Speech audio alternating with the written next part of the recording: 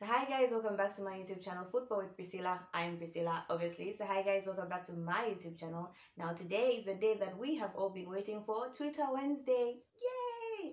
Twitter Wednesday, Twitter Wednesday. Wow! This would make sense if I had a soundboard, but anyway, that's the besides the point. So Twitter Wednesday is basically a day when I react to Twitter questions, sports questions, obviously. This can be questions that are posed by ESPN, Sport Bible, um, the Premier League, um, etc., etc., BBC Sports, etc., etc. So yeah, so I'll just be reacting to the questions that are posed on Twitter. Now, before we get into the video for today, make sure you share, like, and subscribe. Make sure you share, like, and subscribe. Okay, so this is going to be a very short video. I'm just going to run through the questions Unfortunately, I could only find sport Bible question, or most of them were sport Bible questions. All these others, I mean, like what's happening after I start Twitter Wednesday and then they decide to stop creating content for me? Who does that?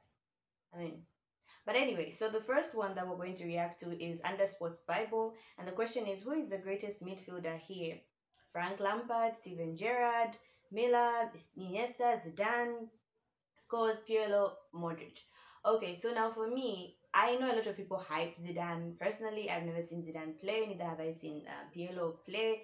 So I don't, I can't say that these for me personally are good. I've never watched them play. Even if I watch compilations, I'm not amused. Um, I've watched Scholes play. I've watched um, who else play? Frank Lampard play and of me, the three that stand out are obviously Iniesta, Xavi, and Modric.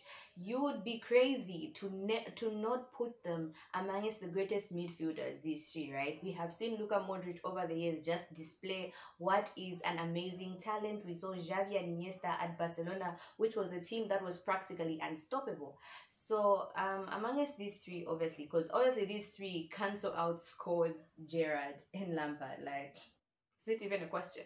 But amongst these three, I think I'm gonna go for Iniesta. I've always favored Iniesta to these three. I just think he was a different kind of class of player. Um, I liked how he carried the ball. I liked his vision, and I also liked the fact that he was involved in most of the goals.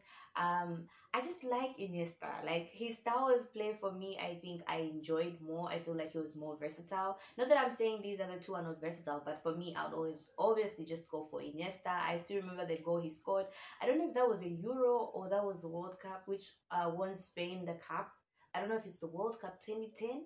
I'm not sure, but yeah. So for me, I pick Iniesta. The other question is under Sport Bible again. I know. Um, it says they don't have to be the best player. They don't have to be the greatest player. Who is your favorite player? Who is my favorite player? So now I've been a Manchester United fan all my life ever since I was like 10 years old. And I really started understanding football like when I was like 13. But like throughout that whole time, I until now I have always been obsessed with one player. Guess who? I'll give you guys three seconds. Guess the Manchester United player that I have been obsessed with. Okay, now like I have I have I've watched Van Nistelrooy play. I've watched um the Rooney era. I've watched um Cristiano Ronaldo. I've watched Berbatov. I've watched um in the midfield um who was playing in Manchester United midfield. I've watched Scholes play. I've watched Nani play. I've watched a lot of Manchester United come and go. Um, but for me, I've watched Rio and Vidic, which was our war. But for me, my all-time favorite player is Wayne Rooney. Ladies and gentlemen, no one beats Wayne Rooney. For me, he's my all-time favorite player. I remember when I was young, my parents bought me like a Manchester United football kit, right? And then the t the, the shirt was written Wayne Rooney and the shorts. So like whenever I went outside to go play football or whatnot when I was young, I would always wear my Rooney jersey and the whole Manchester United kit. Like I was that obsessed. So yeah. So Wayne Rooney is and will forever be my all my all-time favorite player.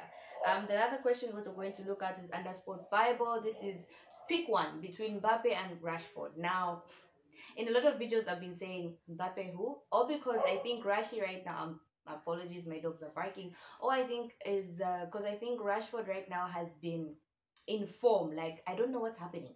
Like the goal he scored on the weekend was a striker s goal. Right now he keeps on finding himself in the right position, a position where a striker should find himself, and I am being I am very impressed.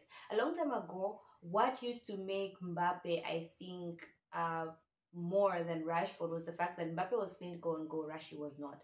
Now Rashi is catching up to Mbappe and he's actually Rashford is actually being clinical in goal and actually finding himself in the right striker position. I, I remember saying um when I saw Rashford go, I was saying uh, this looks this has a Benny McCarthy touch to it because it was a proper proper striker's goal. So obviously between Mbappe and Rashford, based on form right now, I'm picking Rashford all day, every day. The last question we're going to um we're going to react to this is under United District. Um, I just found it on Twitter. Um, so this is under United District, and they were asking what is the best front three. Um, Sancho, Rashford, Weghorst, Antony, Garnacho, and Martial. Now, for me, I don't rate Martial. I don't know why people talk about Tony Martial. I don't see it. I've never seen it. So we cancel Tony Martial out. Antony, for me, I've I've said it in most of my videos. He's not doing what I want him to do. He's good at like during the weekend, I saw him run at a player once and he managed to get past that player and at least cross the ball. This is what we want from Antony, but for some reason, I don't know, he's shying away from running at defenders. But I feel like an Antony who's not afraid to run at defenders will be an absolute beast. Now, with his pace, his trickery, and his um skills, I think he's going to be an absolute nightmare for defenders to contend with Okay, so the next person that we're going to look at is Weghorst. Personally, for me, I don't another player that I don't rate. I just don't understand what is Virgo's job at Manchester United. We're not playing to his advantage, which is his height. He doesn't score headers. So what what what what is he bringing to Manchester United? I will say this: Virgos is good at linking up play. Other than that, I don't see him in the striking position. It's either Manchester United are not creating chances for him, or he's not found he's not finding himself in the right striking positions. Because at this point, he slows up play. I feel like he's not as fast and he loses the ball quickly and he's getting on my nerves little by little. So I cancel out Virgos. We have Rashi who's in form. Obviously, I'm putting him there. And then we have Garnacho who obviously when he comes in the game, you could see that he can change the game most of the times with his pace and his directness. So I feel like Garnacho gets in there somewhere. So it's obviously Rashi. Garnacho, I feel like he's been an absolute um, gem of a player for Manchester United. Maybe he needs to learn a few things, seeing that he's young and with maturity, I think he'll just be a great player. But um Garnacho right now has been changing the game for Manchester United. So I think I'll throw Garnacho there.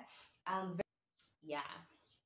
Okay, so um that leaves us with Sancho. Now Sancho obviously only came back um just a while back and so it's going to be very hard for me to like say Sancho should go in because he's only played one game and the one game he's played have just been a few minutes so I don't know if we can add Sancho in there but like the cameos we used to see of Sancho also he's more like Antony but I feel like Sancho is a bit more direct. Um a lot of people have been saying that he suits the number 10 role. I don't see it. I feel like just leave him on the wings okay? Leave him on the wings and he'll figure himself out. He's a professional footballer okay? So um i can't say so much about Anton, about sancho sorry.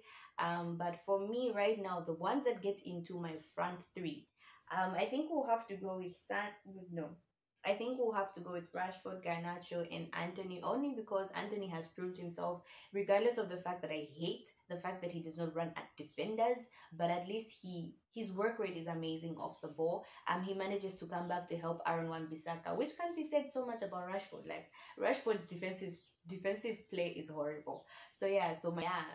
So that's all I had for you guys today. Um, I hope you enjoyed me reacting to Twitter questions. Um, yeah, Twitter is not all horrible, ladies and gentlemen. I know people want it to be toxic.